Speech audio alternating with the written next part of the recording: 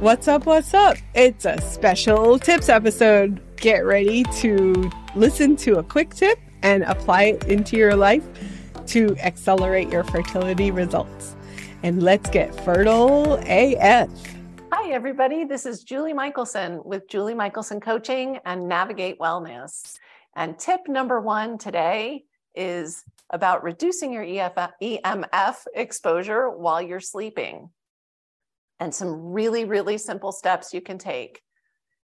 Two of my absolute favorite things to do regarding protecting myself from EMFs while I sleep are turning my phone on airplane mode. And if you're somebody who has a list of excuses as to why you can't turn your phone on airplane mode, please, please, please take it out of your bedroom and just turn the volume up if you need to be able to get a call. But keep that phone away from your head. We know that EMF exposure already changes the blood brain barrier and allows other toxins in that normally wouldn't get in there. And so reducing that exposure, especially while we're supposed to detox our brains during sleep, is essential.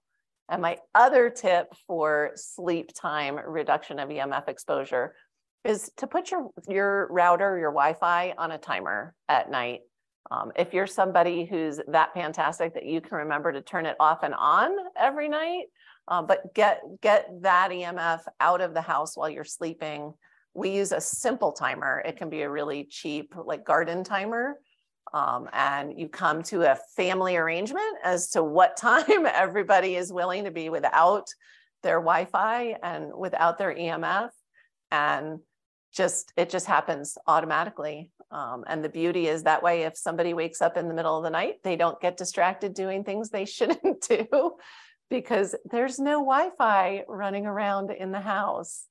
And then the last piece of that, I would say, that's really, really helpful to offsetting the exposure that we get all the time is when you get up in the morning, go stand outside barefoot grounding will really help offset the inflammation in, in your cells from the EMF exposure.